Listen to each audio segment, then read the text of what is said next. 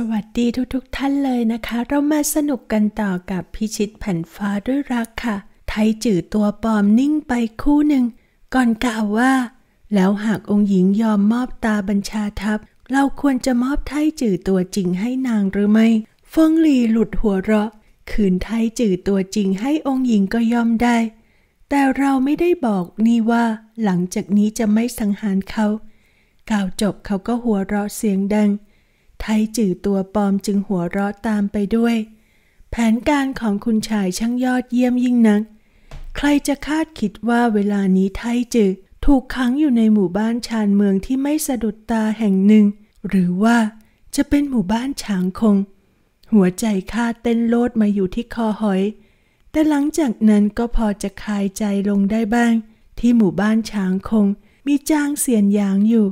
เวลาเนี้ยจิงเหยียนน่าจะยังไม่มีภัยถึงชีวิต แม้ข้าจะอยากสืบความให้ได้มากกว่านี้ แต่จนใจเพราะเวลาเพียงครู่สั้นๆ ขาทั้งสองข้างของข้าก็สั่นระริกอย่างไม่อาจควบคุม หากยังยืนอยู่ต่อไปเกรงว่า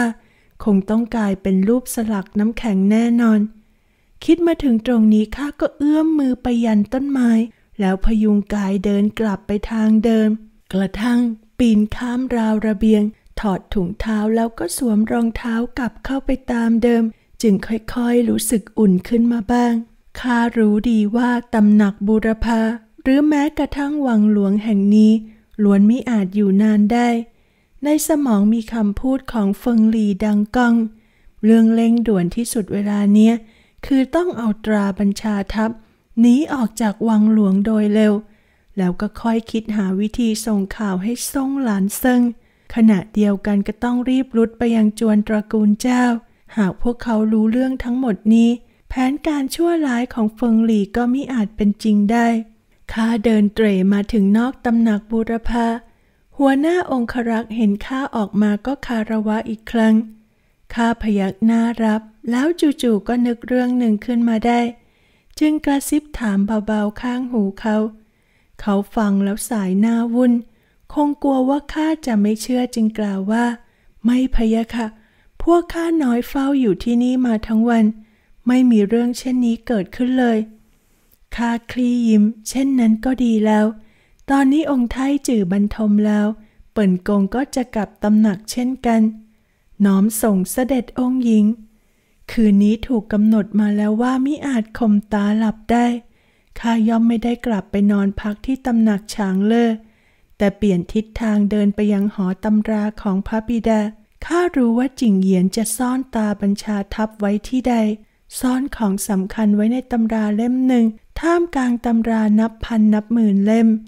นี่คือนิสัยที่ติดตัวมานานปีของจิงเยียน ทั้งเป็นความคุ้นเคยของข้าเช่นกัน ยามเนี้ยดึกมากแล้ว หอตำราโรงดานแน่นหนาไม่มีคนเฝ้า ข้าเดินเข้าไปข้างใน อาศัยแสงจากโคมไฟนอกหน้าต่าง ไล่หาตามชั้นหนังสือสูง หาตำราเล่มที่จิงเยียนชื่นชอบมากที่สุด และไม่ชอบมากที่สุดออกมา ไม่นานก็พบกล่องไม้ที่คุ้นตากล่องนั้นนี่ก็คือตาบัญชาทัพ ที่เฟิงหลี่เฝ้าปรารถนาแม้ในยามฝัน แต่ข้ากลับคิดไม่ออกว่าเขาเป็นใครกันแน่ เพียงอาศัยตราบัญชาทัพไม่กี่ชิ้นนี้ ก็สามารถระดมกองกำลังของคนเก่าแก่ ในราชวงศ์ก่อนมาได้ ทรงหลานเซิงเคยสงสัยว่าเฟิงหลี่คือพระเชษฐาทว่าพระเชษฐาคือทายาทเชื้อพระวงศ์ปัจจุบัน จะมีสิทธิ์ใช้ตราบัญชาทัพของราชวงศ์ก่อนได้อย่างไรข้าเขียนข้อความใส่แผ่นกระดาษเล็กๆ แล้วเรียกอินทรีตัวนั้นมา ตอนที่ปล่อยให้มันบินขึ้นฟ้าก็ได้แต่หวังว่า มันจะบินไปหาซ่งหลานเซิงได้เร็วสักหน่อย เช่นนั้นทุกอย่างก็จะคลี่คลายได้ เมื่อเดินออกมาจากหอตำราข้าก็มุ่งหน้าไปทางทิศเหนือ หากจำไม่ผิดแล้วก็ วันนี้หัวหน้าทหารลาดตะเวนน่าจะเป็นซุนเฉียน เขาเป็นองครักษ์รักษาพระองค์ ที่ทิ้งดาบคุกเข่าลงเบื้องหน้าข้าในท้องพระโรง วันที่เกิดคดีคังวัง เป็นคนไว้วางใจได้คนหนึ่ง หากข้าเป็นเฟิงหลี่ก็น่าจะให้ไทจือตัวปลอม ออกคำสั่งห้ามไม่ให้ปล่อยองค์หญิงออกนอกวัง คิดจะออกจากวังได้อย่างราบรื่น ก็จำเป็นที่จะต้องปลอมตัวกันสักหน่อย อย่างไรเสียสวรรค์ก็มักมีหนทางให้เดินเสมอ เมื่อผ่านอุทยานดอกไม้มาพริบตาเดียว ก็เห็นซุนเฉียนกำลังนำทหารรักษาพระองค์หลายนายเดินลาดตะเวนอยู่ ข้ารู้ว่าเวลาไม่คอยท่า รีบปีขึ้นหน้าไปหาเขาทันที เนื่องจากเป็นยามวิกาลพวกเขาเห็นไม่ชัดว่า ผู้ที่มาเป็นใคร จึงพากันชักดาบออกมา ใคร เปิ่นกงคือองค์หญิงเซียงอี ข้าเดินไปหยุดอยู่ตรงหน้าซุนเฉียนอย่างไม่เร่งร้อน ซุนเฉียนไม่พบกันเสียนาน ซุนเฉียนตะลึงไปเล็กน้อย ก่อนจะรีบคุกเข่าข้างหนึ่ง พร้อมๆกับทหารองครักษ์คนอื่นๆ ถวายบังคมองค์หญิง คิ้วของเขาขมวดมุน ดึกดื่น ยามสามแล้ว มิทราบเหตุใดองค์หญิงจึงเสด็จมาที่นี่ข้าถอนหายใจยาวฝืนยิ้มกล่าวว่า เปิ่นกงมาขอให้เจ้าช่วยอะไรสักอย่างหนึ่งข้ายอมไม่กล้าพูดอะไรมากความกับซุนเฉียน ราะเรื่องนี้สลับซับซ้อนเกินไป มีใช้สิ่งที่ราชองคลักษ์ตัวเล็กๆ อย่างพวกเขา จะเข้าใจได้ หากบุ่มบามบุกเข้าไปในตำหนักบุรพาแล้วไม่ระวังเพียงนิด ลมหายใจของคนเหล่านี้ คงต้องหมดสิ้นในชั่วพริบตา แต่ถึงอย่างไรเขาก็เชื่อใจข้าพอข้าบอกว่าจะออกนอกวัง เขาก็สั่งให้ผู้ใต้บังคับบัญชาที่ตัวค่อนข้างเล็ก ปลดชุดเกราะส่งให้ข้าเปลี่ยนทันที ประจวบเหมาะกับเวลานี้เป็นช่วงผลัดเวร พวกทหารที่เฝ้าอยู่หน้าประตูจึงไม่มีใครสงสัย ดังนั้นข้าจึงปะปน อยู่ในกลุ่มของพวกเขา แล้วออกจากวังมาได้อย่างราบรื่น ก่อนหน้านี้ซุนเฉียนได้สั่งให้คนเตรียมรถมา รออยู่นอกวังแล้ว เขาประคองข้าขึ้นรถม้าอย่างระมัดระวัง ก่อนหันไปสั่งสารถีให้ขับไปยังจวนเจ้าโซฟู จนกระทั่งรถมาค่อยๆเคลื่อนตัว ข้าจึงรู้สึกเหมือนหลุดพ้นจากอันตรายได้อย่างแท้จริง กล้ามเนื้อทั่วร่างผ่อนคลาย หันไปพยักหน้าขอบคุณซุนเฉียน โชคดีที่มีเจ้า ซุนเฉียนยิ้มน้อยๆ องค์หญิงทรงพักผ่อนในรถสักครู่ข้าน้อยจะตรวจดูลาดเหลาด้านนอก กล่าวจบเขาก็ลุกขึ้น เลิกผ้าม่านรถมาแล้วไปนั่งบนคานรถม้าข้างสารถี อาการเจ็บแปบเป็นระลอกส่งมาจากขาทั้งคู่ที่แข็ง เพราะความหนาวเย็น ย้อนนึกถึงทุกเรื่องที่เกิดขึ้นในคืนนี้ ก็อดหวาดผวาไม่ได้ หากถูกจับได้ตอนที่แอบฟัง ผลลัพธ์ที่ตามมาคงร้ายแรงจนคาดไม่ถึง ลมหนาวพัดวูบเข้ามา ไอเย็นชื้นชำแรกเข้าไปในกระดูกข้าถูมือเข้าด้วยกัน ก่อนจะยกขึ้นป้องปากเป่าลมร้อน หมายจะทำให้ร่างกายอบอุ่นขึ้นอีกนิด แต่ไม่ว่าจะถูอย่างไรก็ไม่อุ่นขึ้นเสียที ตรงข้ามกับยิ่งรู้สึกว่าความร้อนในล่างลดต่ำลงเรื่อยๆ แม้แต่มือทั้งคู่ก็ยังเริ่มหนักอึ้งจนแทบจะยกไม่ขึ้น จิตสำนึกตระหนักถึงลางสังหรณ์อันเลวร้าย ข้าค่อยๆกางนิ้วทั้งสิบออก แล้วพยายามกำเป็นหมัด ทว่ามือทั้งคู่กับกำได้ไม่แน่น แม้แต่จะเหยียดขาตรงก็ยังยากลำบากราวกับว่าเรี่ยวแรงทั้งร่างหายไปโดยไม่รู้ตัว นี่ไม่เหมือนปฏิกิริยา ของคนที่ตัวแข็งเพราะความหนาวเย็น เวลานี้เองรถม้าก็แล่นตะบึงผ่านหน้าประตูใหญ่ ของจวนเจ้าโซฟูไปโดยไม่หยุดพักแม้เสี้ยวขณะ หยุดจิตสำนึกบอกให้ข้าเอ่ยเตือนชุนเฉียนให้หยุดรถมา ทว่าพออ้าปากเสียงที่ดังออกมากับแหบพร่าแทบไม่เป็นคำทันใดนั้นข้างหูก็มีคำพูดของเฟิงหลี่ดังขึ้นมา สองชั่วยามให้หลัง มือเท้าของนางจะค่อยๆไหลเรียวแรง หมดเสียงให้พูด เวลานี้เป็นเวลาสองชั่วยาม หลังจากที่ดื่มสุราพอดี ถูกพิษเข้าจนได้ แต่ข้าไม่ได้ดื่มสุรานั่นเสียหน่อย แล้วเหตุใดเฟิงหลีจึงบอกว่าพิษอยู่ในสุราเล่า เว้นเสียแต่ว่าคำพูดนั้นของเขาตั้งใจพูดให้ข้าฟัง ลมเย็นแทรกเข้ามาตามรอยแยกของม่านหน้าต่าง ข้าหนาวจนตัวสั่นเทิม หันควับกลับไปจึงเห็นว่าม่านรถม้าขยับไหวอยู่ในเงามืด ความหวาดกลัวถาโถมเข้ามากดทับข้าค่อยๆ ดึงดาบโค้งที่เอวออกมา ทว่าเพิ่งจะดึงออกมาได้เพียงครึ่งเดียว ก็ได้ยินเสียงคนด้านนอกเอ่ยขึ้นอย่างเนิบช้า องค์หญิง ดาบนี้หนักเกินไป เจ้าถูกพิษกระดูกอ่อนเข้าไป เก็บแรงเอาไว้ดีกว่า เสียงของฟงหลี่ลาวกับมือที่บีบลงบนลำคอข้า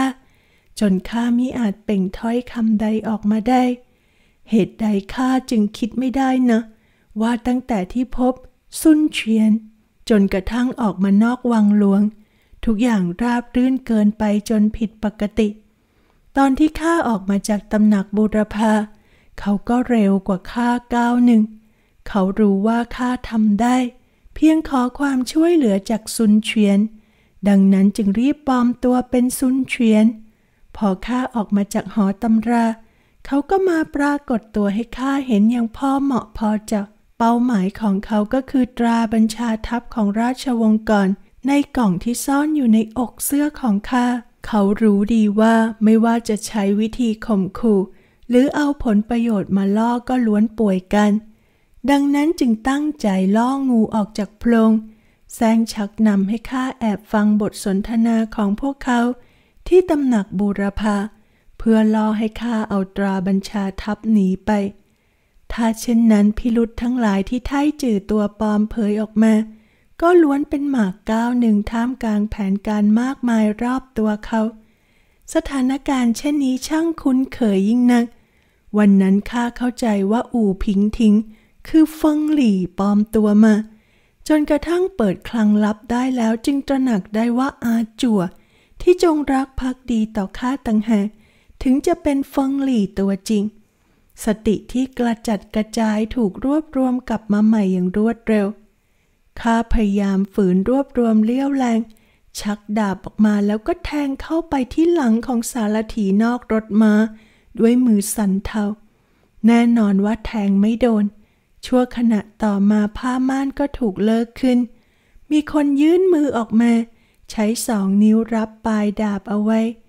ดีดเบาๆทีหนึ่งพละกำลังมหาศาลก็สะท้อนกลับ จนดาบสะเทือนแล้วกระเด็นหลุดจากมือข้าลงไปอยู่ที่พื้น แล้วข้าก็ได้เห็นชมหน้าของสารถีอย่างชัดเจน หล่อเหลาทว่าเย็นชา คุ้นเคยแต่ก็แปลกหน้า เขาคือเนียหลัน ลมแรงพัดกระโชกผ่านข้างหู เกล็ดหิมะปิวมากระทบใบหน้า เย็นยะเยือกเช่นนี้ อันตรายเช่นนี้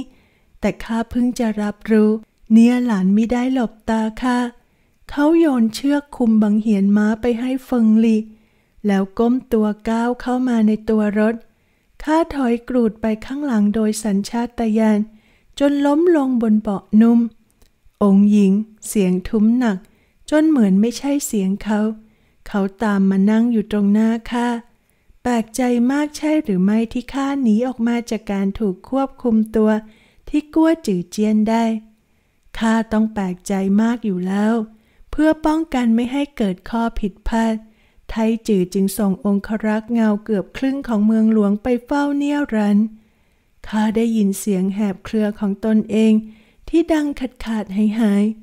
เฟิงหลี่เป็นคนช่วยเจ้า ดังนั้นเจ้า เจ้าจึงร่วมมือกับเขาอีกครั้ง เนียหลานยกมุมปากขึ้นยิ้ม วิชาแปลงโฉมของคุณชายเฟิงเป็นอันดับหนึ่ง ในใต้ล่าอย่างแท้จริง หากข้าไม่ร่วมมือกับเขา ก็มีแต่จะถูกเจ้าค่า องค์หญิงคิดว่าข้าควรจะเลือกเช่นไรเล่า เฟิงหลี่ไม่มีทางยอมให้บิดาเจ้าหุบบ้านเมืองไปคลองคนเดียว ข้าเป่งเสียงที่แหบแห้งออกมาอย่างยากลำบาก ร่วมมือกับเขา จุดจบก็มีแต่ความตายเท่านั้น เฟิงหลี่ที่อยู่ด้านนอกได้ยินก็หัวเราะออกมาเบาๆ แต่กลับไม่ได้พูดอะไร เนี่ยหลันเห็นว่าข้าตัวสัน่นจนหลังเหงื่อเย็น จึงยื่นมือออกมาหมายประคองข้ารีบเบี่ยงตัวหลบ จ้องเขาอย่างระแวง มือของเขาชะงักค้างกลางอากาศ จากนั้นก็หัวเราะเสียงยัน ข้อแรกเปลี่ยนระหว่างข้ากับคุณชายเฟิง หาใช่บ้านเมืองไม่ แล้วคืออะไร ไม่รู้ว่าเวลาเนี้ยมาวิ่งไปในทิศทางใด แสงอรุณสาดส่องเข้ามาตามรอยแยกของผ้าม่านข้าได้ยินเสียงคนสัญจรเบาๆจากภายนอก หัวใจพันสะท้าน ที่แถประตูเมืองก็เปิดแล้ว รถมาวิ่งมาถึงหน้าด่านประตูเมืองหลวงแล้ว นี่คือโอกาสครั้งหนึ่ง ขอเพียงทำให้พวกทหารที่เฝ้าประตูเมืองมองเห็นข้าบางที่อาจมีความหวัง เพียงข้าขยับตัวน้อยๆ เนี้ยหลันก็มองจุดประสงค์ของข้าออก ข้อมือถูกเขาบีบแน่น แค่เขาบีบไว้เช่นนี้ อย่าว่าแต่เวลานี้ข้าถูกพิษจนไรเลี้ยวแรงเลย ต่อให้เป็นยามปกติก็ยังยากที่จะสลัดได้หลุด แต่ข้าตัดสินใจแล้วว่า จะลองเดิมพันดูสักครั้ง แค่โยนกล่องไม้ในอกเสื้อออกไปให้ทหาร ที่เฝ้าประตูเมืองเห็น อาจดึงดูดความสนใจของพวกเขาได้ทว่าชั่วขณะที่ผ้าม่านเลิกขึ้นข้ากลับเห็นแผ่นหลังของใครคนหนึ่ง